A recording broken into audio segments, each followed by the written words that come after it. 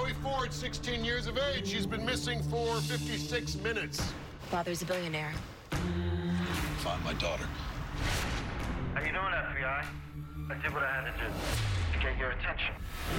A new FBI next Tuesday, 9, 8 central on CBS.